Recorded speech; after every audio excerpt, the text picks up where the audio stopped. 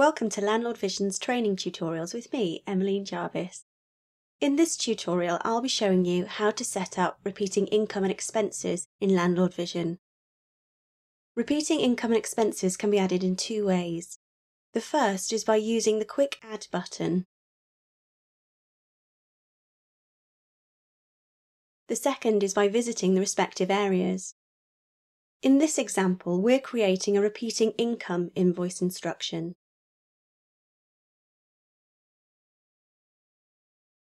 The first part of this form is about setting the parameters for this repeating invoice. Choose the frequency of this payment and when it's due to start. If the due date is not the same as the billing date, you can set the alternative date here. If you'd like the payment to relate to a certain period and for that period to show on each invoice, tick the Set Invoice Period flag.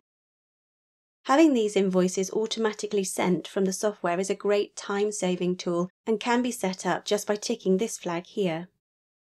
Now we fill in the main invoice details.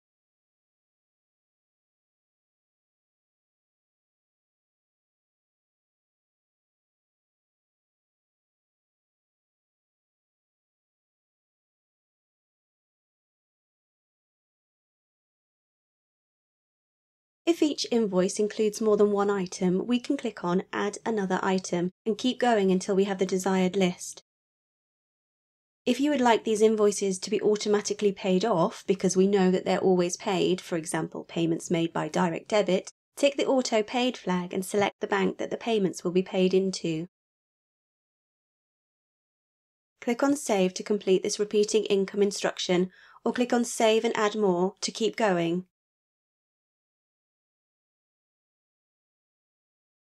Our new repeating income instruction has been created, and this will keep going until we come back into this area and tell it to stop. Next time, I'll be going through adding individual bills and bill payments to Landlord Vision. See you soon.